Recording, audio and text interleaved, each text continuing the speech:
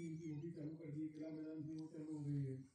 एक किला मैदान के औद्योगिक क्षेत्र को चालू कर रहे हैं। तो ब्रॉडली औद्योगिक क्षेत्र जितने भी हैं, जिस जिसमें दिए भी हुए हैं, इनको हम लोगों ने सभी को चालू कर दिया है। और जो अत्यावश्यक इसमें लिखी हुई है जैसे कहा गया है कि शुरुआत हम लोग इसलिए की है कि मास्क पहनना आवश्यक है, सोशल डिस्टेंसिंग रखना ज़रूरी है दो मीटर की कम से कम हैंड वॉशिंग की व्यवस्था होनी चाहिए सैनिटाइजर की है जो इंदौर सीमा क्षेत्र के बाहर राउंड महू छोड़ पाँव सेवा ये सब चीज़ें डाली गई आदेश में आप लोग डिटेल मिल जाएगा इसमें और एक सामान्य आवश्यकताओं की वस्तुओं को भी वो डिफाइन ताकि रस्ते जहाँ तक रहेगा इसमें पूरा संपूर्ण ग्रामीण क्षेत्र है और जितने भी अन्य नगरीय निकाय हैं अब अन्य नगरीय निकायों में सभी आ जाती हैं आपको आइडिया होगा हाथों पेटमा मानपुर रतनपुरा देपालपुर उस प्रकार से होगा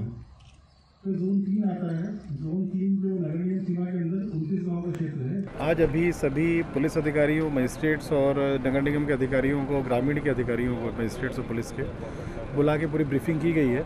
जो पॉइंट डिसाइड किए गए हैं, ग्रामीण में किस प्रकार के एक्टिविटीज़ हो रही हैं, शहर में जो तीन भाग में बांटा है, उसमें कौन कौन सी एक्टिविटीज़ परमिटेड रहेंगी, वो पूरी डिटेल अभी सभी अधिकारियों को बतलाया गया है यहाँ पर।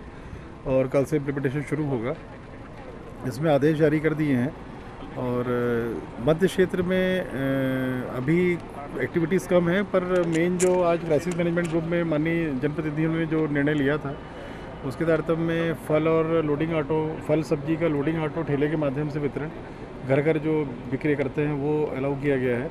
मध्य क्षेत्र में किराने की दुकानें और ग्रॉसरी की दुकानों का डोर टू डोर डिलीवरी के शर्त पे चालू किए गए हैं।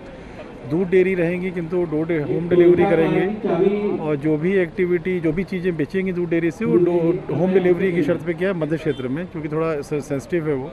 और कॉन्टैक्ट ट्रेसिंग में सब्ज़ी और दूध डेयरियाँ भी आई थी कि लोगों को इन्फेक्शन हुआ था।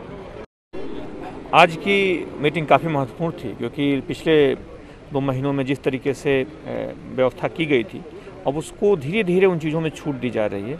और छूट दिए जाने के साथ ही ये ज़रूरी है कि ये छूट की प्रक्रिया व्यवस्थित हो। इसमें पुलिस की भूमिका भी बदलेगी। मुख्य तौर पे कंटेनमेंट जोन्स की संख्या कम की जा रही है और यह व्यवस्था मुख्यतः तीन क्षेत्रों पर केंद्रित है। एक कंटेनमेंट जोन के क्षेत्र, जिसमें अपेक्षाकृत प्रतिबंध कई अंशों में रहेंगे।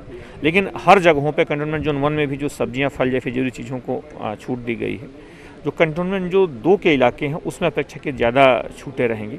इन इलाकों में पुलिस की भूमिका भी बदलेगी। मुख्य तौर पे सुबह के समय चूँकि लोग मॉर्निंग वॉक के लिए आएँगे तो पुलिस की जो गश्त है, पुलिस की जो सुबह से जो उनकी ड्यूटी के आवर्स हैं, उसको बदला गया है। वो मॉर्निंग आवर्स में उसके हिसाब से रहेंगे। हम जानते हैं कि सुबह पाँच बजे से लेकर आठ बजे तक लोगों को मॉर्निंग वॉक के लिए छूट भी दी गई है। लेकिन यह छूट जो पैंसठ साल के ऊपर के लोग हैं, जो दस वर्ष के कम के बच्चे हैं, और जो कोमॉर्बिड जो इस तरह के गंभीर बीमारियों से जो पीड़ित हैं, उनके लिए छूट प्रभावी नहीं होगी। Thank you.